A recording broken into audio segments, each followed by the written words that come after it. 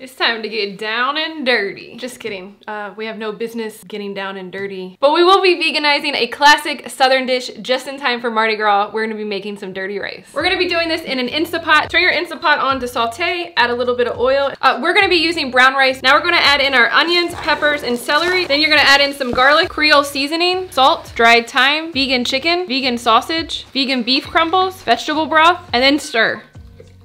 Add in bay leaves and then push them underneath of the stock along with everything else as much as you can. And finally, some raisins. It's a joke. Do not add raisins into this or your potato salad, Susan. Put your lid on, seal your valve, and cook on high for 25 minutes. When it's ready, you're gonna quick release your pressure valve. If you are new to Instapots and have no idea what I'm talking about, highly recommend you read the manual first or you're gonna end up a little something like this. Dish it up, top with green onions, and serve.